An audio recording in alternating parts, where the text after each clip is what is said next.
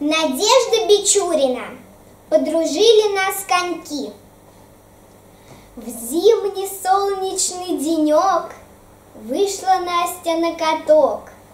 На коньках стоит с трудом, Озирается кругом, А вокруг мальчишки пулями летают. И испуга Насти они не замечают. А она стоит, дрожит и по сторонам глядит. Рядом скрипнули коньки, засверкали огоньки. Лёшка к Насте подъезжает и ей руку предлагает.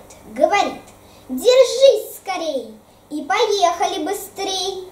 В руку Настенька вцепилась и тихонько покатилась.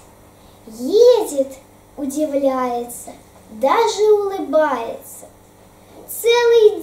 Они катались, дружно падали, смеялись. К вечеру по зову мам разбежались по домам. И теперь, как только солнце стукнет лучиком в оконце, на каток бегут они, захватив с собой коньки.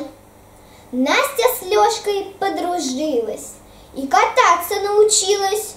Трудности исчезнут вдруг, если рядом друг –